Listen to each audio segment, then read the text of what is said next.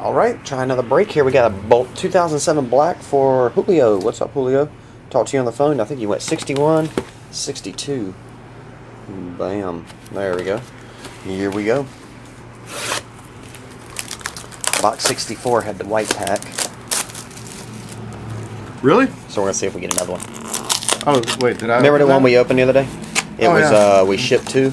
We opened 82, but we shipped 64 and 63. He wanted 64 open. Guess what box had the white pack? That 64 was the white pack. Yep. You're like, yeah. I forget who it was. It was like Edison Volquez or something like this.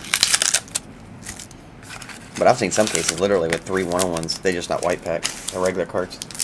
So you never know.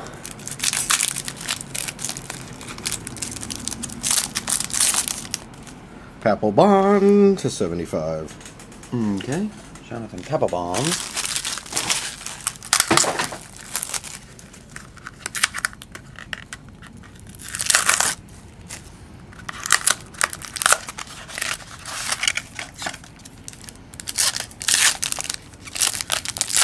Illustrious.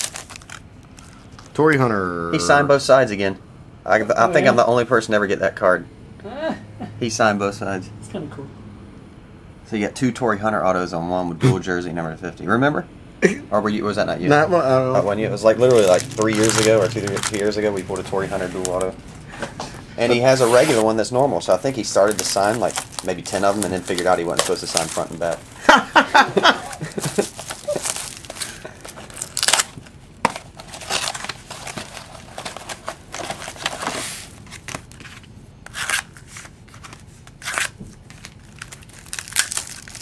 It's actually on video. If I could only know which one. How many you got out there? Like seven, There's eight probably at least 200 black videos.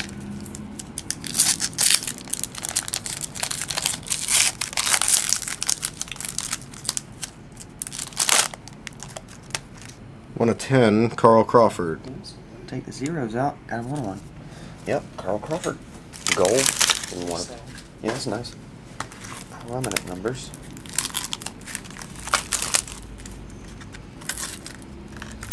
Dickie V last night got drilled in the chest with a foul ball at the Tampa Bay game. Really? Mm-hmm. Here we go. Last hit is prominent numbers again.